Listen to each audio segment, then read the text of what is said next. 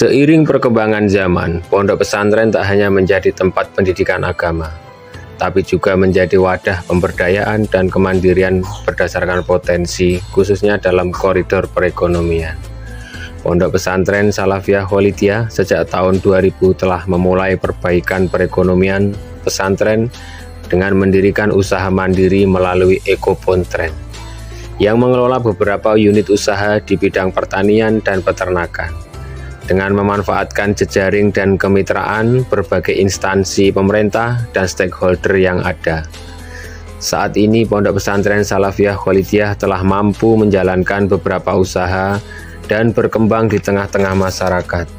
Di antaranya adalah usaha pertanian modern dan terencana.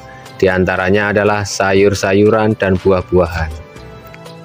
Menanam sayuran dengan sistem hidroponik lebih banyak keunggulannya dibandingkan dengan sistem tanam konvensional, lebih cepat, banyak, higienis, dan lebih terjaga kandungan nutrisinya. Berikut akan kami paparkan master plan bisnis untuk tanaman hidroponik.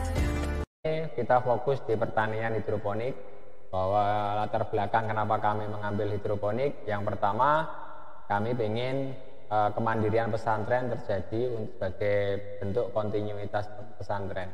Yang kedua, minimnya tenaga petani muda yang saat ini terjadi melanda di seluruh uh, dunia. Yang keempat, perkembangan teknologi teknologi uh, eh, 4.0 yang menuntut kita untuk semakin uh, lebih ke depan. Yang, ke, yang keempat adalah produktivitas lahan konvensional menurun. Jadi karena adanya musim-musim yang kurang menentu. Yang kelima adalah edukasi teknologi pertanian bagi masyarakat.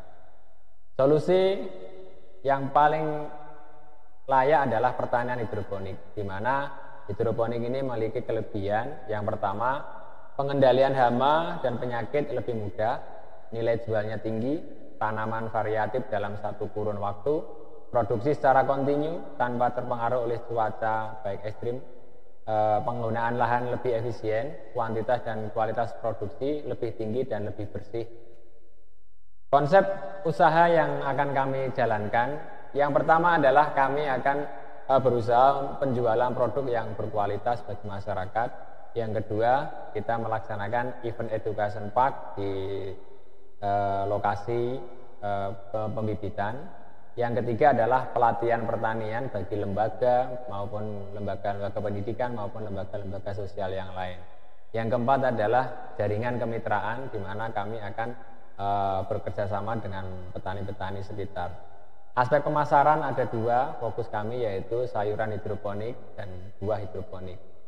Untuk target pasar, sasarannya adalah yang pertama UMKM yang sekarang lagi e, booming di mana-mana. Yang kedua pasar modern, contohnya adalah Indomaret, Alfamart dan lain sebagainya. Dan yang ketiga adalah pasar tradisional. Ya, pemasaran dan strategi promosi yang akan kami lakukan dalam bisnis ini yang pertama adalah promosi menggunakan media sosial seperti saat ini. Yang kedua adalah event education park di mana eh, kita mengadakan kegiatan di lahan pertanian kami yang ketiga adalah pelatihan pertanian bagi seluruh lembaga pendidikan maupun lembaga sosial. Yang keempat, menjalin kemitraan dari berbagai stakeholder yang ada. Dan yang kelima adalah self-service, di mana semua masyarakat bisa membeli dan belajar di sana. Adapun kapasitas produksi sayuran yang kami milih, yang kami rencanakan adalah dalam satu hari menghasilkan 10 kilo dengan asumsi harga jual sekitar 25.000. Sehingga kita bisa menghitung omset kita, omset satu bulan adalah kurang lebih mendapat 7.500. Untuk produksi melon, om, e, kita berasumsi bahwa kita akan men, e, mencoba 1000 titik tanam yang asumsinya menghasilkan 3 ton dengan asumsi satu titiknya, satu titik tanam itu akan menghasilkan 3 kilo. Sehingga melon 3 ton uh, akan mendapatkan laba kurang lebih 15 juta per 2 bulan atau 7 juta 500 per bulannya. Sehingga omset total perhitungan untuk 1200 lubang tanam sayuran dan 1000 titik melon akan menghasilkan omset kurang lebih 15 juta per bulan.